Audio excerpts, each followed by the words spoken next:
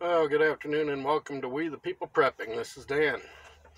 Hey, I just want to expand a little bit on uh, what John at Prepper Nation was talking about this morning about uh, what happens if you know martial law is declared. They start going house to house and um, you know taking what you have as a prepper, you know your your stockpile of food and so so forth, and what you can do about it. Well. Um, he was talking about well hide your food you know uh, in your house uh, like in an attic or, or stuff like that but you know i'm going to give you some more in-depth ideas really. It's stuff that we've done around my around my bug out location as well as around my house. Okay you know of course we we have some buckets of food that are uh, watertight and everything inside of them are uh, vacuum sealed, watertight, and we've buried them in the in various locations in the yard. Um, but there are other steps that you can take, like uh, for instance, we have a black 55 gallon drum that uh, we'd bought. It had never been used. It, you know, it uh, it's watertight. You know. Uh, we still vacuum seal stuff that we put in, but we have uh, stored food in there. Um, you know, everything from uh, canned foods, you know, canned goods that uh, we self canned, uh, you know, home canned goods, I should say, uh, to uh, dry beans, rice, you know, even some jugs of water. now, what we've done with these 55 gallon drums is like we slapped a label on one that says waste oil. And after we put the food down in there, okay, we have a false bottom that, well, I, I guess you could call it a false top, uh, that we sit down on top of everything that has some uh, oil and water in it. And we sit it down on top and it fits perfectly in there. And then we put the, the ring back on and seal it all up and everything.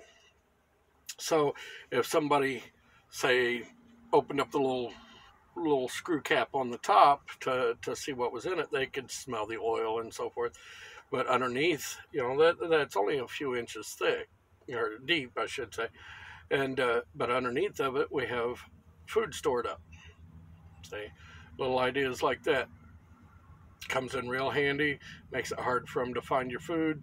You know, they'll think, okay, well, it's just his waste oil from when he changes the oil in his car you know, uh, we've done certain things like that out at, at, the bug out location. Since it's got a lot of farmland out there we will uh, you know put on their uh, inhalation hazard uh, you know and stuff like that. And and uh, we'll put like a it's got the false top again as well. You know we'll put a little bit of something in there to that smells bad. You know uh, just just little things like that that you can do. We've taken and, and on the pond out at, out at the bug out location. Um, you've seen the swimming pool buoys, right? Uh, the the rope that goes across that has the little little buoy on it. Okay, we've uh, taken five gallon buckets, filled them full of food, uh and they're vacuum sealed inside there again. Uh, but we we take those and we make them heavy enough to and and not there's not really a lot of room in there for air or nothing. You know like we five gallon buckets of, of beans and so forth you know. Uh, but we will take those tie a uh, plastic rope you know um, the i guess it's a like a nylon rope uh, something that doesn't degrade very easy. Anyhow, we'll tie that to a bunch of like three buckets, and then we will drop those buckets. If you need to, you can weigh the buckets down, put some sand in the bottom or whatever. Excuse me, and uh, drop those with the, the rope attached to it with a buoy tied to it out in the middle of the pond. Okay, who's going to go out there and, you know, the, all they're going to see is a buoy up above the water. But below the water, hell, we've got three five gallon buckets of, of food sitting right there. Know, uh, Another thing that we've done is where I live. It's it's pretty much rural community. Okay, I live in a small town, but you know it's it's all farmland and old rundown farmhouses out in the country around us and stuff like that. Well, you know, there's some of these houses that have been sitting there empty, falling down for 30, 40 years. You know, I mean, they, they're they're pretty dilapidated. We will take it. You know, yeah, we don't own the property, but we'll take a, a couple of five gallon buckets of beans and rice or, or whatever and put them in those old houses. You know, just, and, and you know, they'll gather dust and everything, so they'll look like they've been sitting there for a long while. I mean, you can even throw throw some dust up in the air and let it settle on them. You know, make it look like they've been there for a while. So you know, even if the military went went and searched those old abandoned houses, they're just going to see a couple of old dusty buckets sitting there and not really think a whole lot of it. I mean, you know, nobody's lived there for a long time. So you know, and, and all of these ideas are, are places that are close to us and close to our, our bug out location. You know, now eventually we're going to move out to our bug out location. We just got to get everything finished up the way we want it and everything. You know, finish paying off the place that we're at now, and then we're going to rent it out and, and move out to the bug out location.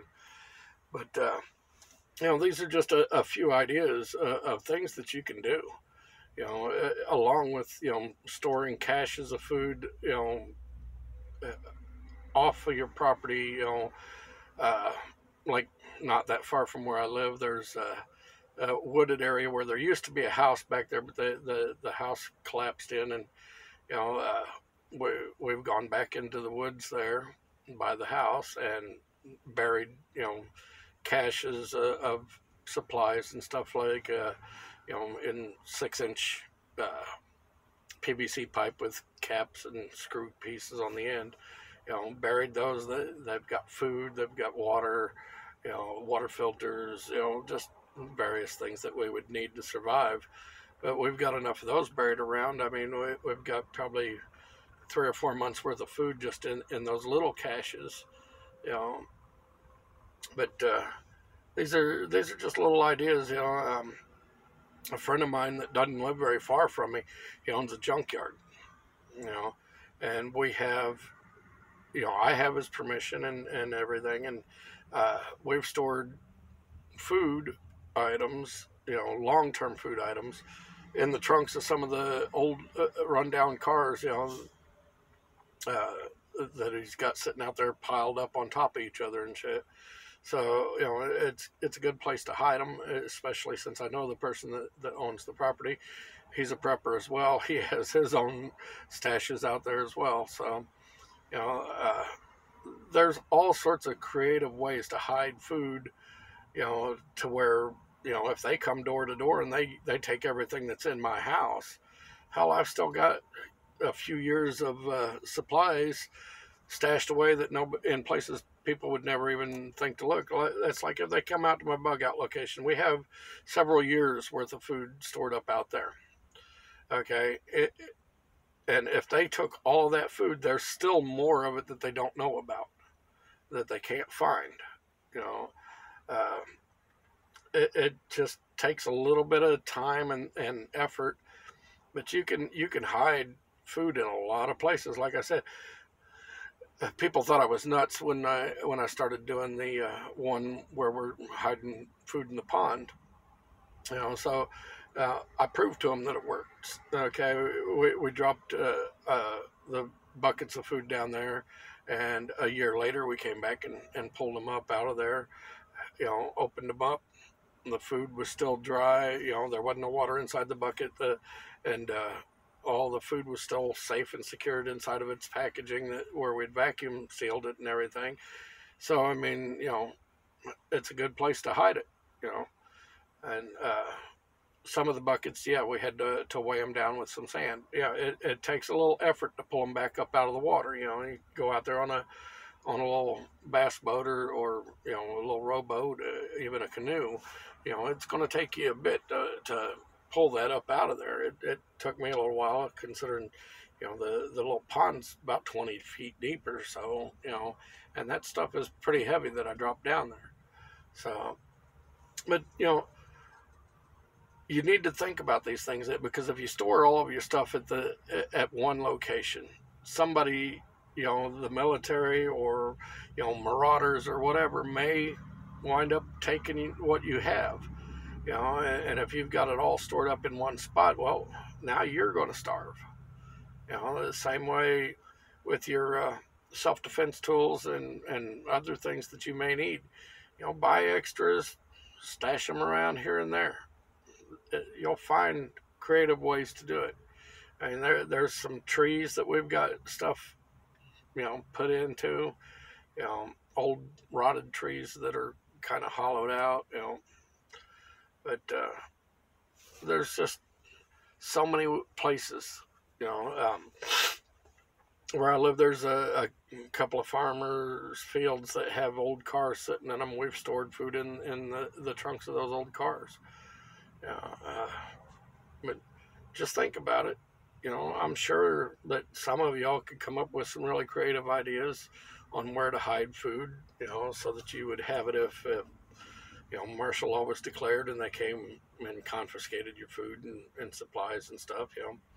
It's always good to have stashes of, you know, uh, food, water, water purification, you know, uh, clothing, even, you know, you know, they're, the odds are they're not going to to uh, come after your clothing, but you know, I mean, there's I, I store extra clothes uh, because you never know when you might need them. Like if I have to bug out, I, you know, and I, have got a, a, spare change of clothes in my bug out bag, and then I've got what's on me.